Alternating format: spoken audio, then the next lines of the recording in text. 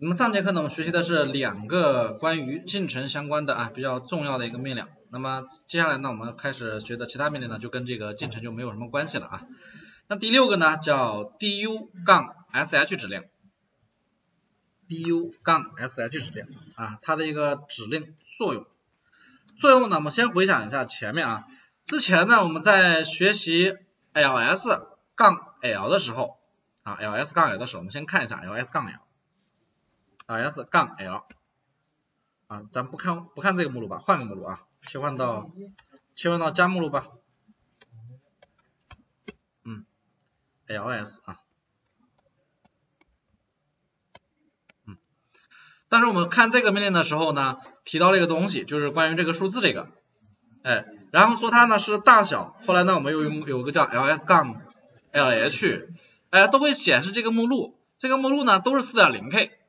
那这样的话，它这个里面的东西实际大小呢，我们就看不出来了，因为如果往里面放东西，它不可能是四点零 K 的，哎，那我们怎么看真实的目录的大小呢？哎，那这个时候就要用到我们这个命令呢，叫 du 杠 sh，所以它的作用呢就是查看目录的哎大小啊真实大小，我说真实大小吧，嗯，真实大小就这么个作用，然后呢？作用的话有了，那么参数呢也要说一下每个参数是什么意思啊，或者说选项吧，哎，选项的一个含义，它有两个选项，第一个选项叫杠 s，杠 s 呢表示只显示汇总的大小啊，只显示汇总的大小，那么它呢有这个英文单词翻译，但这个英文单词翻译可能有些单词没见过。你能不能自己拼出来，不要照着读呢？原单词是这个单词，叫 summary，summary 它是全称的意思，但是呢，在这里面呢，它变成了复数啊，复数，哎，就是汇总的一个大小啊。这单词如果能记住那最好啊，啊，然后只显示汇总大小，那么显示大小的话，一谈到大小就有个问题了，它可不可能说来个 KB 呀或者什么单位的？啊，所以我们后面要加上一个 h，那么这个 h 和我们前面学的 ls 杠 lh，哎，以及还有一个 free 杠 m，它的含义其实一样的，表示表示以较高可读性可读性的这个形式来进行显示。较高可读性的形式进行显示。那至于单位是什么，它会自动找合适的单位。当你的里面的大小达到 G 的时候，它就以 G 为单位；达不到 G 就以兆为单位；达不到兆就以 KB 为单位，它会自己调啊。所以这个单位呢，咱就不用管，咱到时候呢，它显示出来我们能认识就可以了。行，那么这个是它的作用。语法的话，就像我们刚才写的是一样的啊。语法那也就是井号 du 杠 sh。哎，那这一块的话，后面还要加个东西，不要忘了啊，就是这个路径。你要统计哪一个目录，哎，你得把目录的路径告诉他。哎，这个呢，它的语法格式。那现在的话，我们来试一下啊。哎，我需要去统计一个目录的大小。案例，我们需要去统计一下。之前呢，我们这根下面，根下面有个叫运维，看看有没有啊？啊，这不是个目录下，是加目录下啊。统计 root 加目录下，也就是 root 下面的加目录下，很牛 x，哎，这个目录的实际的一个大小啊，实际大小。哎，那这样的话，我们回到这边来啊，来写这个命令。命令呢就是 du 杠 sh 后面加上路径，也就是 root。哎，这个斜杠呢加不加都一样啊，加不加都一样。你要是能分得清这个相对路径和绝对路径，那就可以写相当前的这个相直接写名字也行啊，都可以。但是路径不要找错就行了啊，这是最终的目的。按下回车，二十 K，那和我们这边显示的四点零 K 是不是就不一样了呀？这个四点零 K 只是这个目录不包含里面的东西啊，它占了四点零 K，但实际的大小呢是二十 K。啊，二十 K，那这个呢是执行的结果。哎，那刚才有同学说这个地方呢叫 DUSH，我直接写这个运维啊，写它呢也一样的，一样的啊。因为呢只是路径的表达表达形式不一样，一个呢相对啊，一个绝对啊，最终结果是一样的，并不影响这个结果。二十 K，行，那我们来统计个大一点的啊，再换第二个，不要统计根目录，不要统计根目录啊，统计根目录这节课就不用上了，就等着吧。哎，统计我们下面的 etc 下面的啊这个目录的一个实际的大小啊，也就是以后呢，咱在执行一些命令的时候，尽量不要从根开始，就是不要直接找根，找根因为根太大了啊，里面文件还多，它去汇总的时候太慢太慢啊。哎，等的时间太长，所以就不要找根了啊。那么 du 杠 sh 根下的 etc 三十七兆，这个单位它自己变，不需要我们去管它，不需要我们去管它啊，因为它已经达到兆的这个级别了啊，所以三十七兆。哎，那如果再多一点呢，上一千多兆啊，它就自动给你换成 G 了啊，换成 G 了。嗯这斜杠后面这个斜杠加不加无所谓，但前面这个必须得加啊，前面这个必须得加。行，那么这是这两个操作啊，那后面的话哎就可以通过 du 杠 sh 这个指令呢来显示或者说得到啊一个目录的指定的大小啊指指定的大小，不像之前之前 ls 杠 lh 啊只能看到四点零 k 没有啥意义，那这样的话哎用 du 杠 sh 就比较实用了啊。du 杠 sh 两个参数，第一个杠 s 汇总大小，第二个 h 以高可读形式进行显示。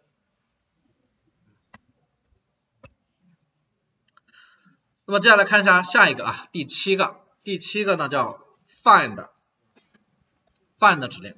那么 find 指令呢，它的实际的作用和它的单词含义是一样的啊，表示查找啊，所以其作用呢就是用于查找。查找文件，哎，就这个作用。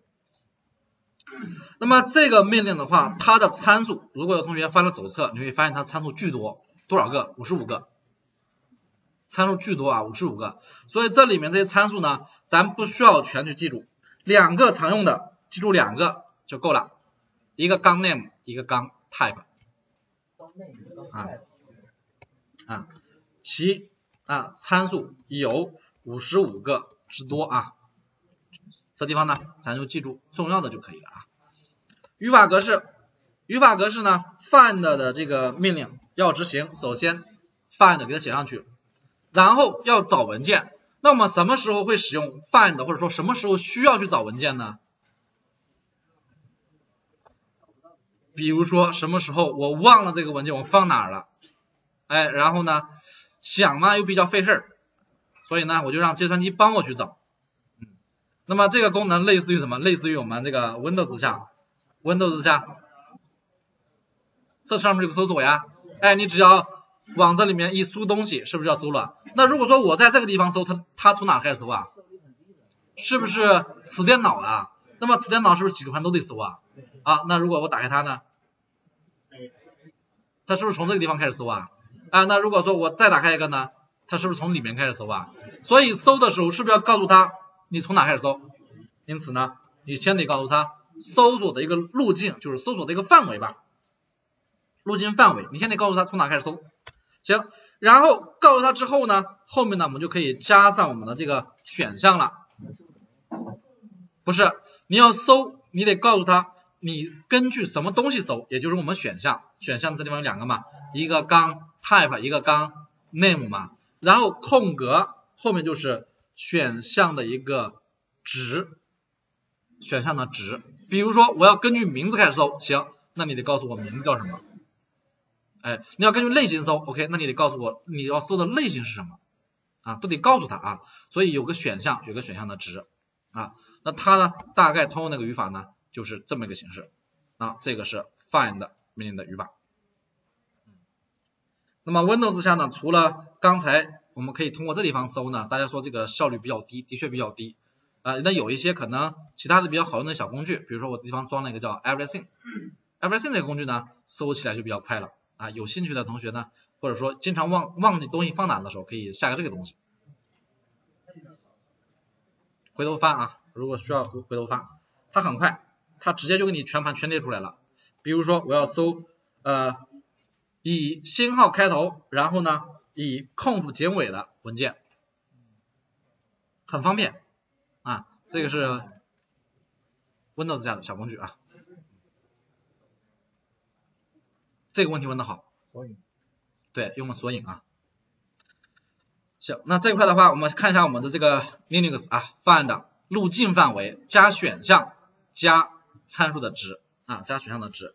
那么选项呢，我们有两个，一个呢是杠 name，杠 name 表达的含义就是按照文件或者不能说文件吧，文档名称进行搜索啊。那这地方呢，它也是支持模糊搜索的，支持模糊搜索，含义就是我这个文件名我也不可能全记住，哎，我就记得好像有一个什么，比如说 L O L 开头的，或者说里面包含 L O L 的，是吧？那你这时候你可以直接输 L O L，哎，不用管它全名叫什么，我模糊知道其中一部分就行了啊。所以这个呢，它支持模糊搜索。然后第二个呢叫 type。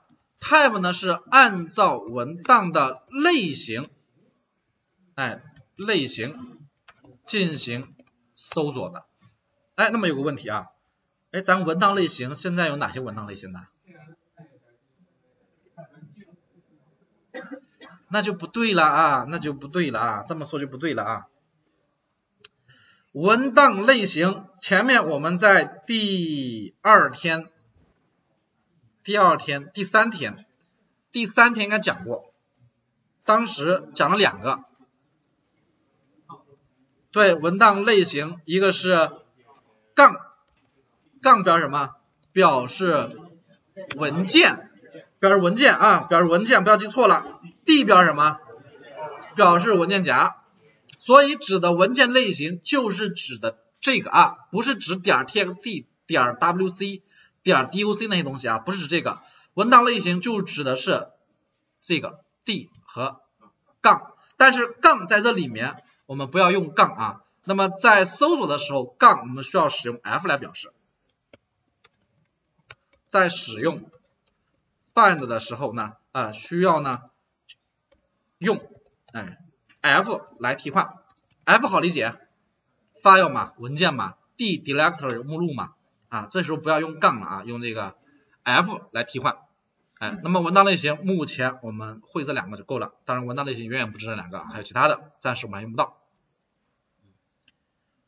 行，那 name 哎 type 这两个选项就有了。行，OK，那现在呢我们有个案例，案例呢就是第一个要求和我们刚才使用这个小工具一样啊，我要搜出所有的所有的点儿。空腹文件，使用 find 啊来搜索，来搜索所有不所有的吧啊，咱有一个文件叫 http d 点空腹吧，我们搜索这个文件，来搜索这个文件。那么这个文件在哪呢？我不知道，在哪呢？我不知道。那待会儿咱用路径该用哪一个呢？是不是用根呢？就是全盘搜索嘛，哎，我不知道在哪啊，我就用那个根。行，那命令的话，大家按照这个语法来啊，看看这个命令应该怎么写。find，然后呢，跟杠杠什么？注意，我现在是按照什么来搜的？是不是按名称来搜的呀？所以应该是 name 是吧？name 后面呢？哎，理想状态是这样的，那我们看看行不行啊？来这边来，find 杠杠 name http d 点 conf 走，正在搜着呢啊，你看跟下就比较慢了啊，所以这个跟呢就是真的是不到万不得已就不建议用，因为它的效率稍微有点慢，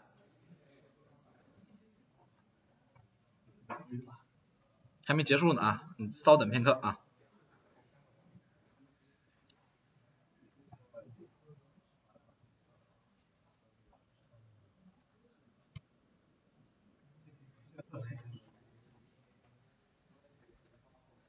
哎，出来一个了。哎，他告诉我这个文件第一个找到的在 etc 下 http d 里面 conf 里面的 http d 点 conf。哎，有没有其他的了？是不是就这一个呀？那说明啊，全盘就这一个文件符合啊是 httpd 点 conf 这个文件名的啊。好，那这样的话，那么这个结果就出来了。所以以后的话，在用的时候呢，如果你这个目录记得在哪一个目录下，就是能精确，尽量精确一点，尽量不要从根开始找，太慢了，效率比较慢啊。嗯，行，这是这个小案例。好，那么接下来呢，我们再来个案例。案例呢，第二个案例就是我需要去搜索 etc 目录下目录下啊所有的哎所有的空腹文件。所有的空腹后缀文件啊，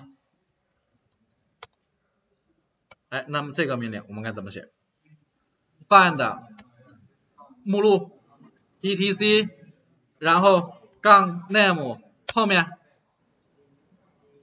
星号点儿空腹是吧？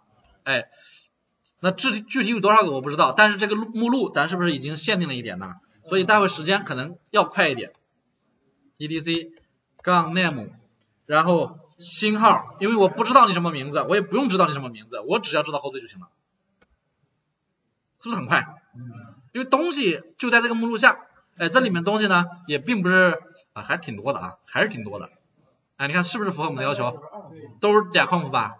哎，行，哎，那我如果说想知道一共有多少个，那我怎么办呢？哎，对了。如果我想知道多少个文件的话，那我只需要在原始命令之上加上一个管道 wc 杠什么来着？杠 l，很方便吧？哎，所以说管道这个东西呢还是比较好用的。哎，你说有让 find 自己去数多少个呢，还比较难。但是我可以把 find 的输出作为 wc 的输入，哎，那这样的话通过管道啊一连就出来了啊，一共三百九十二个。哎，比较方便的啊。行，那么这是第二个，哎，还是根据这个名称来进行搜的。那么接下来呢，我们看一下根据类型来进行搜啊。当然类型的话就比较文件肯定是比较多的啊，不管是文件还是文件夹，它的数量呢都不在少数。一块用，一块用的话犯不着，没有什么意义啊，没有什么意义。嗯，案例三，案例三呢，这个时候呢，哎，我来使用 find 啊，来搜索，来搜索 etc 目录下，etc 目录下，呃，再精确一下吧，因为咱光搜 conf 就这么多了，你要是再搜全部的文件就有点多了啊，etc 下的，看看哪个目录下少啊，就这个吧。Etc 下面的有一个叫做 sane 点 d，哎，搜这个目录下所有的文件，所有的文件啊，文件，文件是不是一个类型呢？是个文档的类型吧啊，所以这个命令咱看怎么写，find 杠 etc 杠 sane 点 d 下面的。然后类型叫杠 type，有空格啊，有空格，这地方有空格啊。然后加什么？fld，f 啊，不要搞错了啊，f，因为是文件嘛啊，所以得抓住这个关键词，抓住关键词啊，文件。好了，来试一下啊，清屏。Find 杠 etc saned，然后后面呢杠 type。那之前呢，在我讲这个 f 的时候，之前有同学说 txt，哎，或者说文件类型，这个好不好使呢？那试一下知道了。他怎么说的呀？说 type 的参数应当仅包含一个字母啊，一个字母，一个字母就是啥呢？就是我们刚才说的 f 和 d 了，哎，所以这地方呢，不要把后缀往这加啊，后缀往这加是不对的，那我们要加一个 f，走，哎，来检查一下，这些是不是都是文件？有没有文件夹的？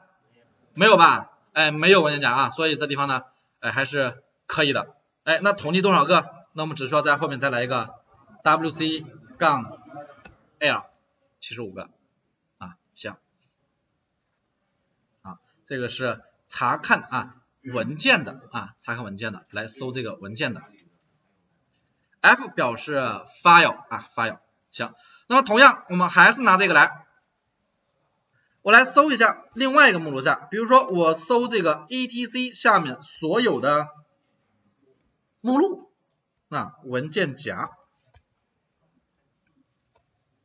哎，来搜文件夹，就是不搜文件了。嗯，那这个命令和上面这个相比一下，什么地方有变化呀？路径肯定有变化啊。然后杠 type，然后给它一个 d 就行了啊，给它一个 d 就行了。嗯，行，然后来一下 find 杠 etc 空格啊，这个斜杠加不加无所谓，杠 type d，检查一下。这些是目录吗？是不是？咱不知道，那验证一下啊。怎么验证？ls，只要你是目录，你可能就能背 ls 啊。比如说这个 pango 啊，etc pango，它既然自动补全出杠了，那说明它应该是个目录。是目录吧？里面的东西呢？对吧？啊，是目录的啊。哎，所以这些呢就是目录了。那有多少个？同样我们可以通过管道 wc 杠 l，二五七个。啊，二五七个，哎，另外大家需要注意啊，我们之前提到这个颜色，这个颜色说明它是什么呀？文件夹吧，啊，文件夹，哎，行，但是这个颜色在这里面不提不不显示啊，我们通过 find 的时候它是不显示颜色的，啊，它是不显示颜色的，行，一共是二百五十七个啊，这个目录还挺多的，哎，从哪开始？从这儿，啊，显示。目录啊，显示目录。好，find 命令呢，主要是用来做这个搜索的啊。以后呢，如果东西放哪了不知道啊，就可以使用 find 命令进行搜索。嗯，哎，那 find 命令能不能搜索出隐藏文件呢？哎，咱试一下啊，咱试一下。嗯，那我们先看一下当前用户的这个加目录啊，看有没有。隐藏文件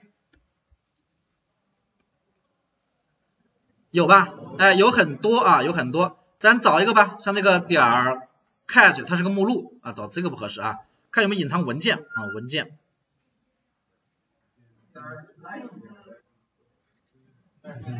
s h s p 是吧？哎，就它吧。行，那 find，哎，我要搜的话，那这时候我目标明确，我在 root 下面搜嘛，是吧？然后杠什么？杠 name 是吧？哎，杠 name，然后点儿 l e s s h s t，能不能啊？能啊，是可以的。哎，那另外可以尝尝试通过这个 type，然后呢，我通过 f 来进行搜，看它能不能列出来。你看是不是都带点的？好多带带点的。对吧？那么带点的这些呢，都是隐藏文件啊，都是隐藏文件，包括隐藏目录它也能列出来啊，可以的啊。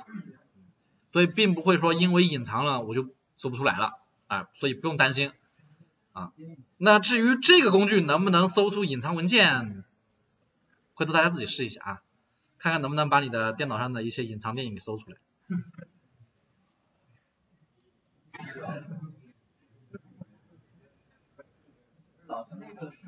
那个隐藏文件是不是跟你登录的那个账号有关系？没有关系啊，没有关系。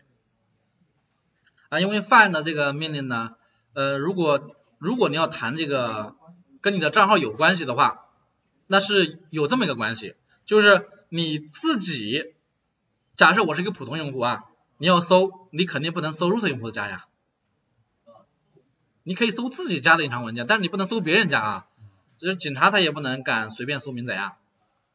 啊，所以这边也是一样的啊，这个低级的用户肯定不能搜高级用户的家，但是高级可以搜低级的啊。嗯，评级用户没有权限，没有权限。评级用户他也有权限的问题啊，也有权限问题。为什么看也有权限的问题呢？这个得到后面讲权限的时候再讲啊。当然我们这块也可以先看一下。我们这个权限其实可以分为三部分，一个呢叫拥有者，一个叫同一个评级用户，还有一个称之为叫其他用户。所以别看是同级用户，他也有权限啊，得看有没有权限才能访问，有权限访问那才能搜，没权限访问不能搜啊。就这么举个例子吧，咱这个一个家里是不是有好几个房间呢？哎，有一些家庭比较民主，我你要搜大人搜小孩的房间，是不是得经过小孩允许啊？虽然是家长，但是你也不能乱来啊，得尊重别人的隐私。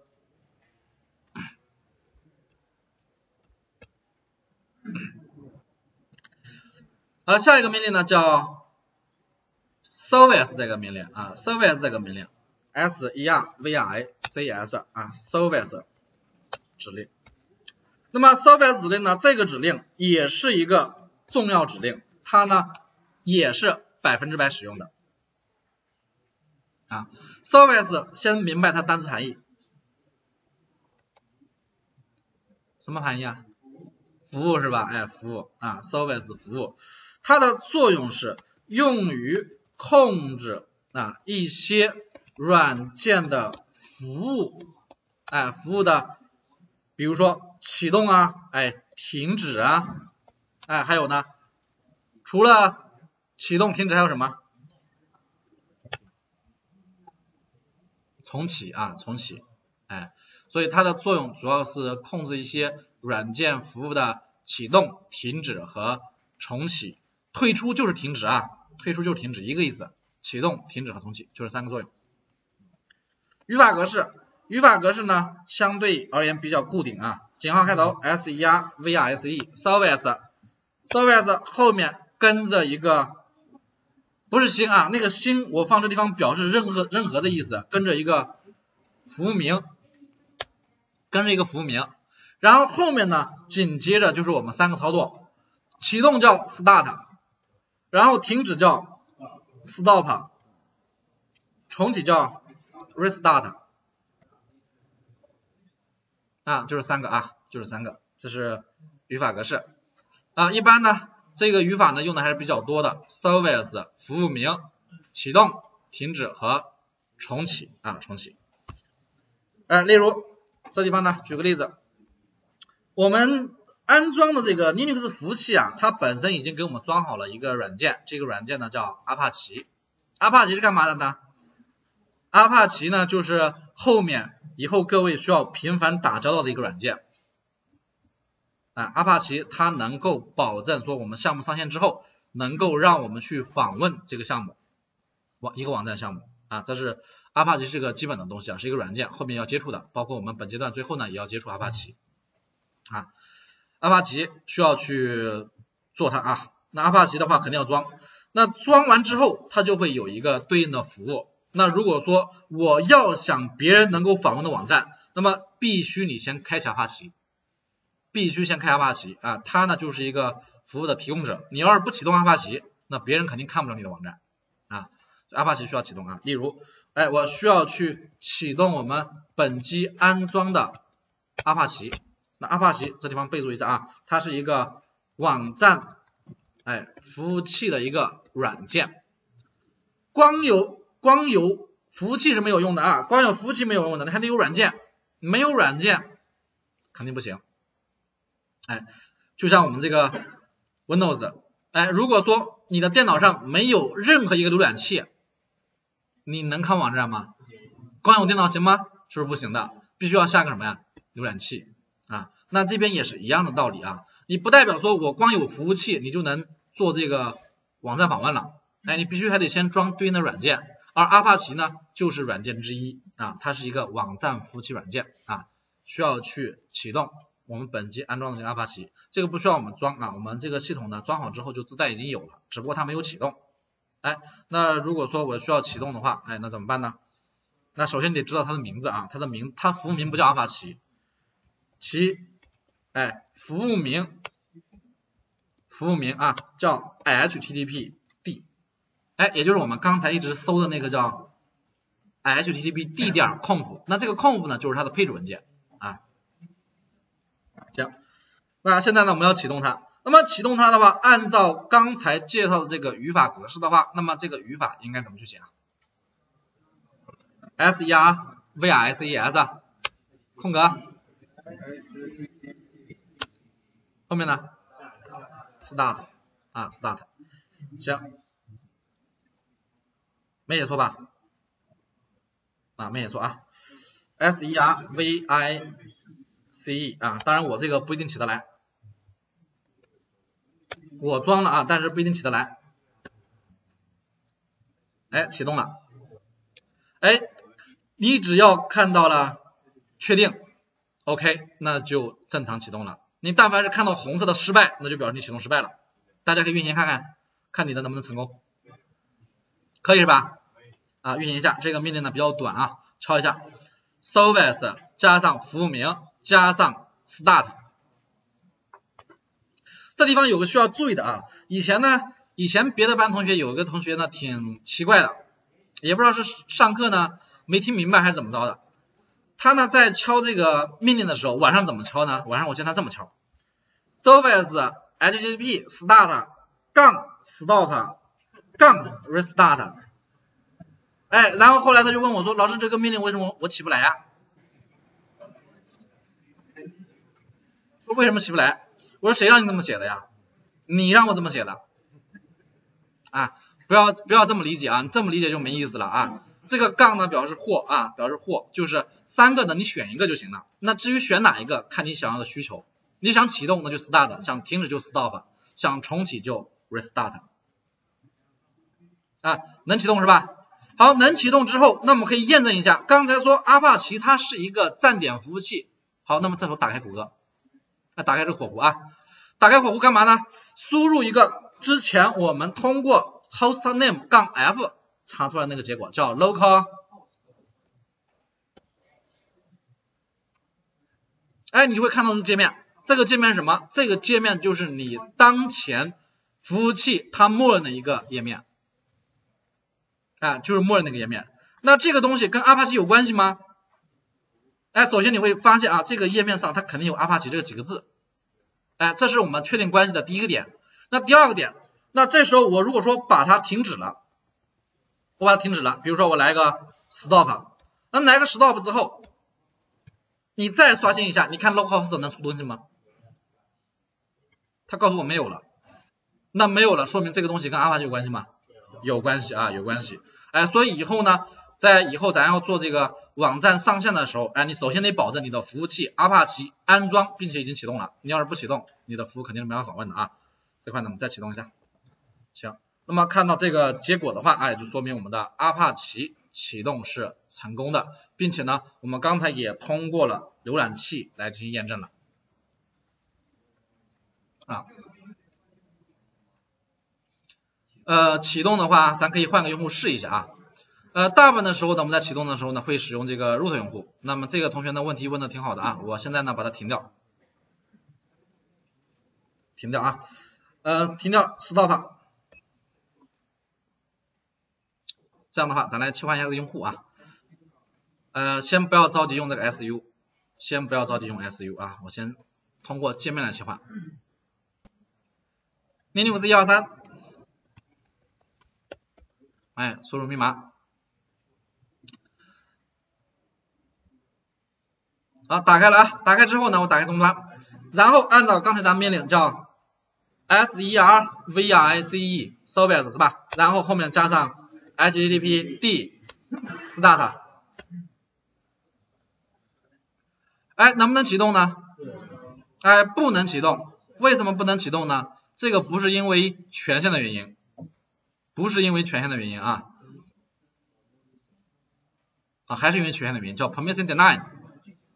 拒绝了，为什么拒绝了？因为 unable to open logs 打不开日志目录，啊，还是没有权限，所以这块呢跟权限还是有关系的啊，还是有关系的，嗯，当然如果说你给这个日志给他读权限和写权限都给了的话，那其实可以正常运行的啊，所以跟这个用户呢其实没有必然关系，主要是看这个用户有没有权限，这个呢才是最终的啊这么一个要求。啊，切换一下，我们再切换回来。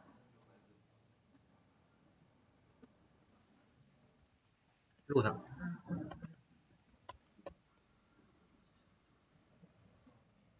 哎，鉴定故障啊，密码输错了应该是。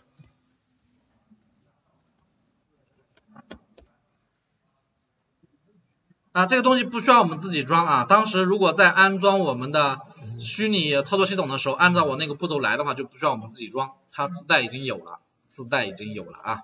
哎，那么刚才是停止和启动，我们再来试一下，还有一个叫 restart，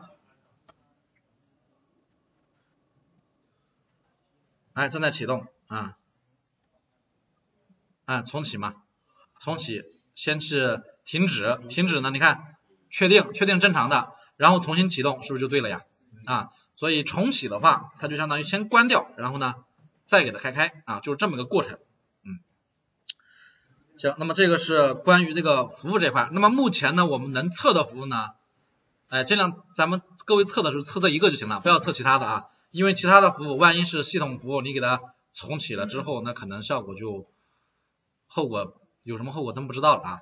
咱就拿这个来测，肯定是没有问题的，也就是这个阿帕奇叫 HTTPD 啊 TTPD，哎，那么刚才呢我们学了个命令叫 PS，那现在我们启动阿帕奇能不能查一下呀？来验证一下啊，行，那么启动之后啊，来通过 PS 啊 PS 命令，哎，来检查 HTTPD 哎这个服务呢是否启动啊是否启动？怎么查？P.S. 杠 E.F. 然后直接 grep 了吗？管道符嘛，这个不要忘了啊。G.R.E.P. 谁呀？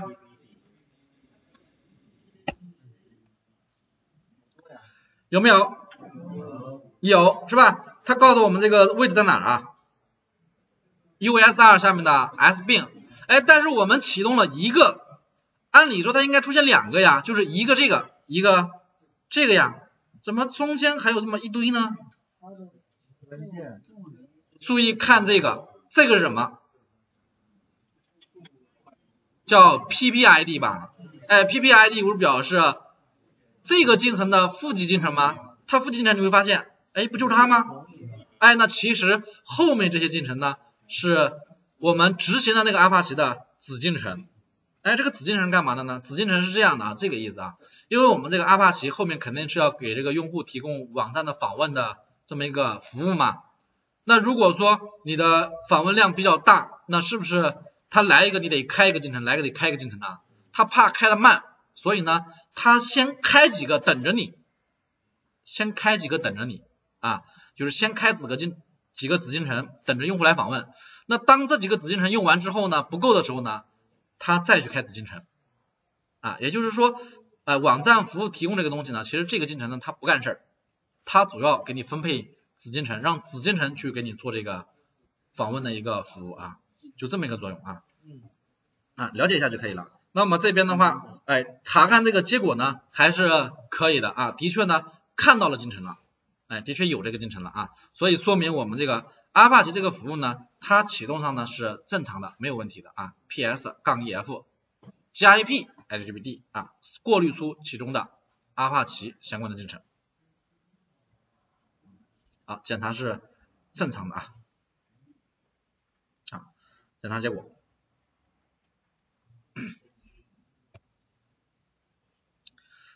那么后面的话，如果呢大家。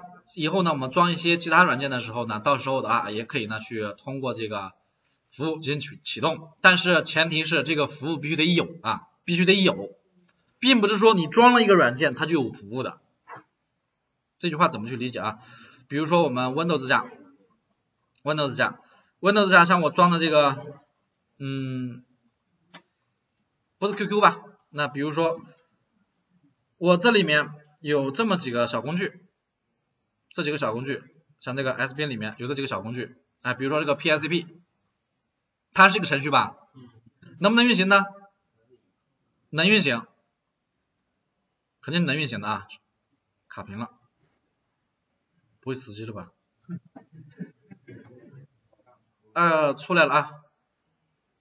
哎，完了，真死了。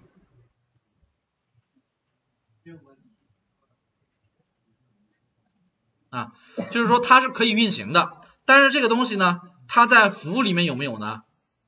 那个真不好说了啊，我们给大家看一下，服务怎么打开？这个呢是一个小技巧，大家可以去在笔记里面去记一下啊。就是说我们要如果想看服务的话，一个呢是我们打开右键，然后在任务管理器里面找服务，哎，搜一下看这里面有没有 P 开头的叫 PSCP 的，PSCP。P.S. R.S. R.S. 有吗？没有啊，所以不一定是所有的软件都有服务，不一定是所有的软件都有服务。啊。但阿帕奇这个地方呢，它就有服务，哎，它叫服务的名字叫 HTTP/D 啊。啊，行。啊，这个是服务的命令啊。